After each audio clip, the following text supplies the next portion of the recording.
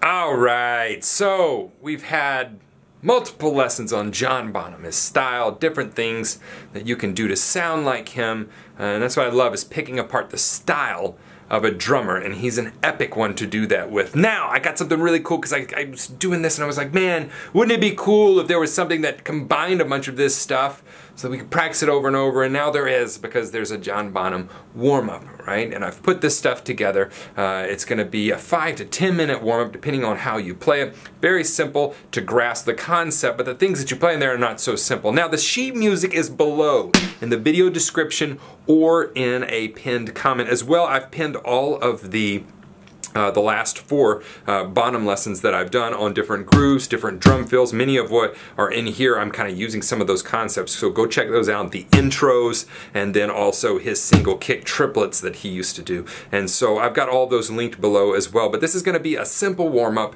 uh, or a simple and structure that you can do every day. And it's going to kind of help to ingrain these uh, Bonham principles into you so that you can, whenever you think, hey, I want to play a fill like John Bonham, you got something to pull from. So let's get this warm up started. The first part of this warm up, if you ever watch my warm ups, they're simple, they're to the point, they're not really complex, and usually they're going to last for five to 10 minutes. So each one of these lines you're going to play for one to two minutes, depending on how long you want your warm up to be. It's not meant to be played at a pace that is super challenging. It's meant to be played at a pace that you can 100% perform it. That's what I want a warm up to be. And I've got the sheet music for you, so it's in the video description as well. It's going to be in a comment uh, a pinned comment. So you can do that. I'll also put all the links for the other lessons down there too, so you can kind of ping pong back to those and catch up if you haven't, or rewatch them, or you know just go post and say, hey, stop giving Bonham lessons and go on to something else. Maybe that's what you want. All right, so let's check out the first uh, line of this.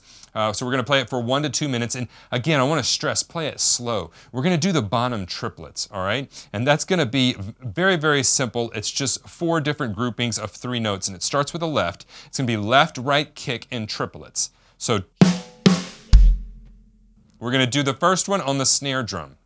The second one, left hand on the high tom, right hand on the floor tom. Third one, right hand on the high tom, left hand on the low tom. And then we're going to reverse that, right, uh, left hand on the high tom, right hand on the floor tom.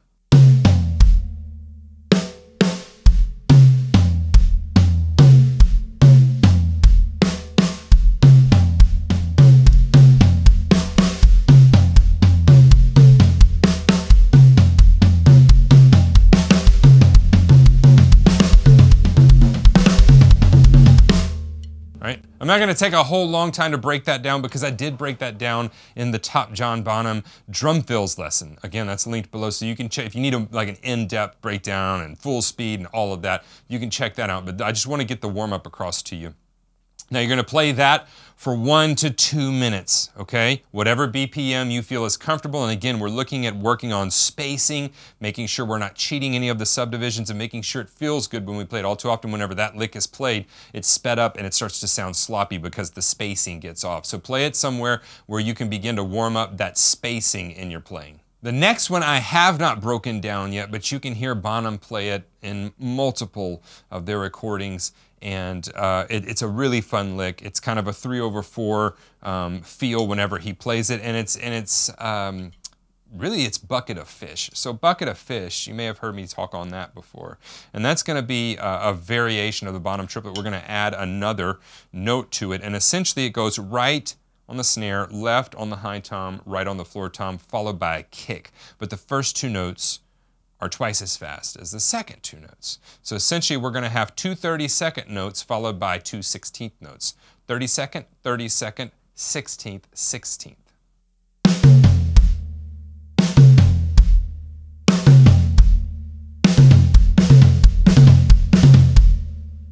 We're going to put four of those together and that's going to be three beats of 16th notes. So it's one E and a, two E and a, three, E, and a. And then we're going to play Bonham triplets. Let me play that real quick. It's going to go four and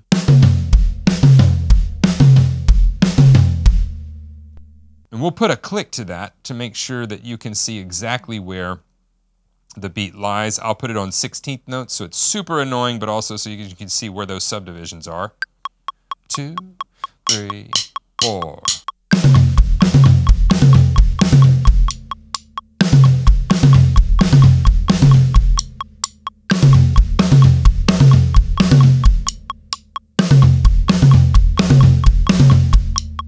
Now sped up with eighth notes on the click.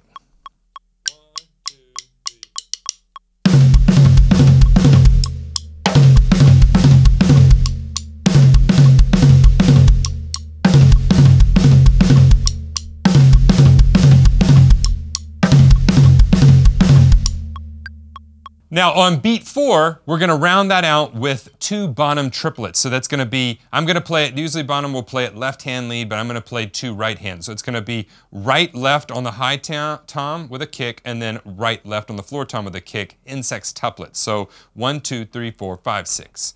One and.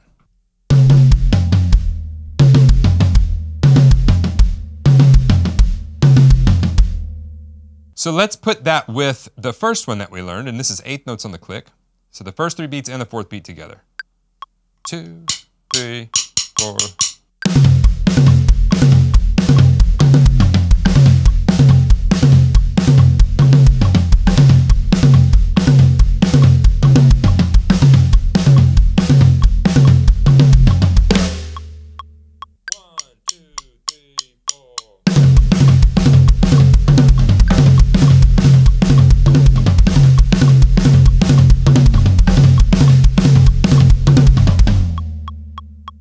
Now again, we're gonna play that for one to two minutes, depending on how much time you have, just over and over. And again, we're looking at the timing. It's got a polyrhythm in it. And so it's just gonna help you. This is if you love Bonham. You're gonna be playing his licks as a warm-up. That's a lot of fun, all right? So we have that first line, and then the second line uh, where we're doing that, um, that bucket of fish lick with two Bonham triplets at the end of it. Now this next one is one that we haven't covered as well, but we're gonna throw it in the warm-up because it's something that you hear him do. You, hear, you can hear him do it on um, uh, on uh, Moby Dick. He does it in sections on there, and then also on, I believe it's Misty Mountain Hop. You can hear it in there. Bonham, a lot of times, drummers, when they play a drum fill, they'll put the kick on eighth notes. It's something that Bonham did that kind of threw it around was he put the hi-hat on the eighth notes or quarter notes, and the kick drum was on the E's and the U's. And so it sounded like one E and a, two E and a, three E and a, instead of one E and a, two or, or just on straight eighth notes.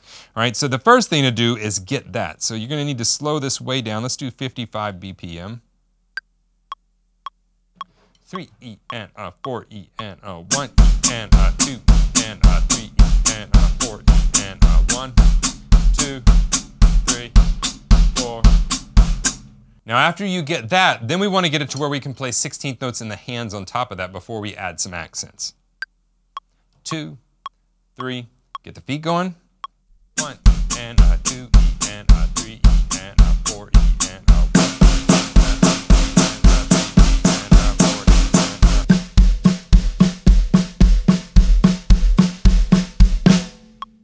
Thing to remember is all the right hands are going to be with the hi-hat, all the left hands are going to be with the kick drum. It's going to throw some of you off because you're accustomed to it being the other way. Now we're going to add some accents in there. So the accents we're going to add is on the one and the uh of the one. So uh, uh.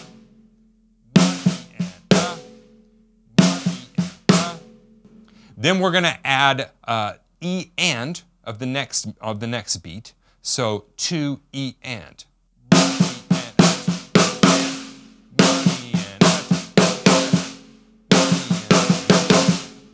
Then on beat three, we'll have the downbeat.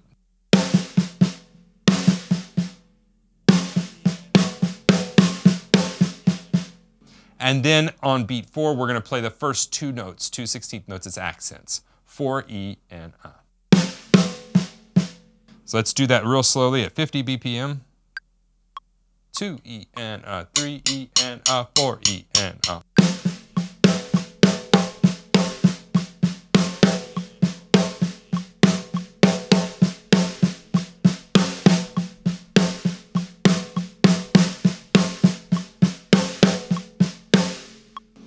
Then get the hi-hat on eighth notes. One, two, three, four.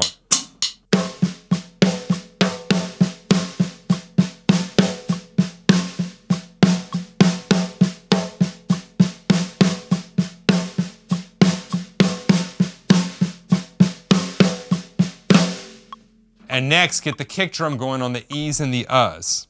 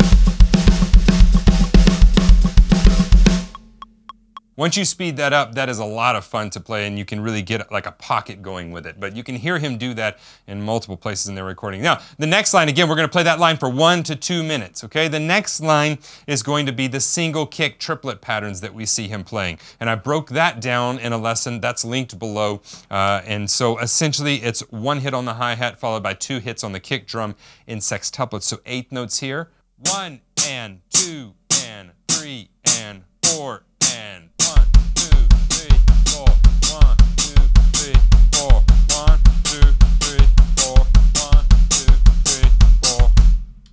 put the snare on two and on four. One and two and three and four and one and two and three and four and one, two and three and four and. So we're going to play that for four measures and then we're going to drop into a groove. The first time you play the groove, you're going to have to omit the first um, the first downbeat in the kick drum unless you're just bad to the bone. Then you can put it in there and play three notes in a row on the kick drum at that speed. But for the rest of you, then you can drop that first kick drum. And what we're going to play is we're going to play a new groove, and it'll sound like this. One and two and. So downbeat on one, and then on three and, we're going to play the triplet pattern. Three, two hits here, and two hits here. One and three. One, two, and. Let's speed that up. Three, four, one, and two, and.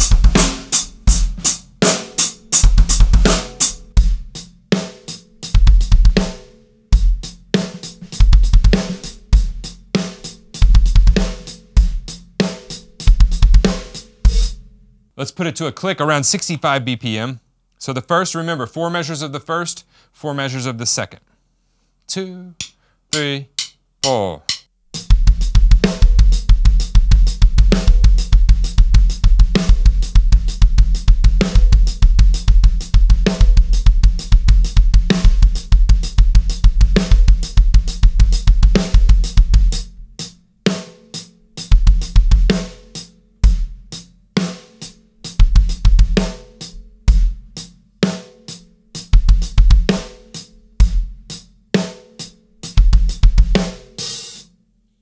Now let's speed that up. Let's take it up to maybe 100 BPM.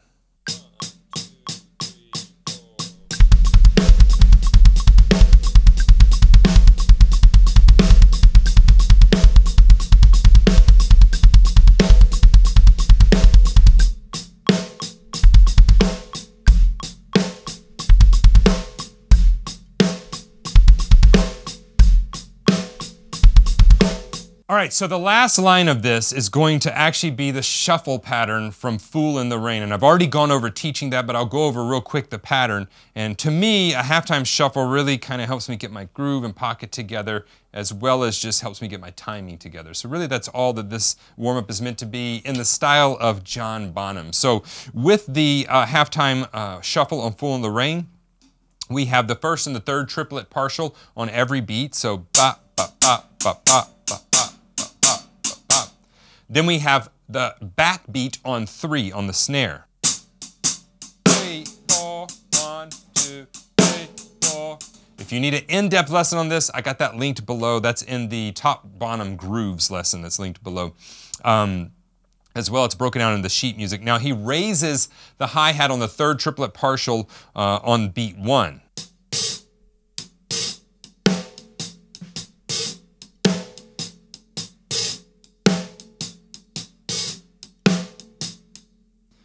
The kick drum is going to play on the first and third triplet partial of beat one and the third triplet partial of beat two, as well as the third triplet partial of beat four. One, two, three, four.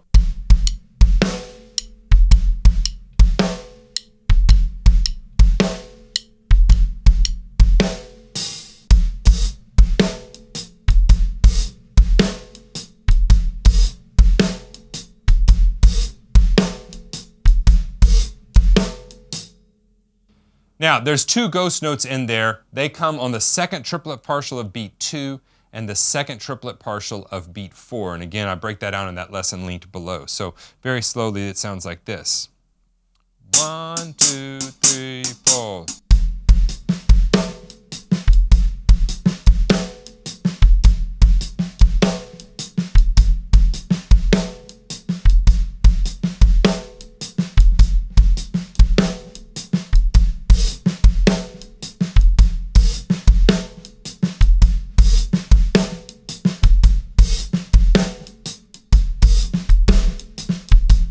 One, two, three, four.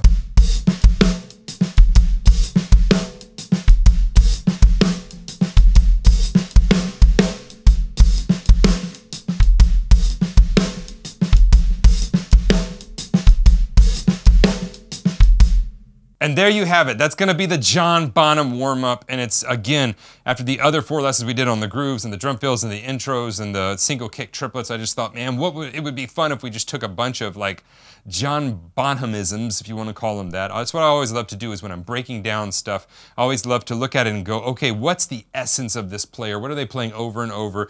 If I wanted to play a fill in the style of John Bonham, what would I put in there? All of those different things. Now, there's a ton of other things that we could put in here, but this will get you started with that. Again, this incorporates several things that he was known for, that bucket of fish type of a fill over 16th notes, as well as Bonham triplets, as well as the single kick triplet pattern, as well as the uh, kick drum on the E's and the Uhs, which is extremely hard if you've never done that, and then his infamous halftime shuffle for Fool in the Rain. So learn all of those, play each line for one to two minutes. The sheet music is linked below. Be sure and get that, it's completely free. What do you think? Is this a warm up that you could use? Do you like these warm ups? Let me know. If you like these warm ups, I'll get more of them out there for you. But this is meant to be a five or 10 minute warm up that you can use in your practice time to warm up your timing, your limbs, your brain, all of that stuff. Now, if this helped you, then please share it with somebody that you think it may help as well. Hit that thumbs up button. If you haven't subscribed to the channel, I really don't know what you're doing. You're just way behind in times because there's new content coming three and four times a week as well. If you haven't hit notifications, hit that notifications bell because I'm going live some and uh, that will notify you when I'm live as well as it'll let you know whenever I've put new uh, content up there so that you can just tune in. I love tuning in and chatting with you guys. I've done several of them uh, and they're just a lot of fun. So, uh, and then if you need personalized drum lessons uh, online, so with someone that is going to be there with you, help you build that plan, then please jump over to the website. It's linked below as well. Uh, check out the Drum Better Daily program. I would love to have you in there, and I would love to see your drumming grow uh, the way that you know it can and the way that I know it can. But go learn this warm up be John Bonham. And I'll see you in the next video.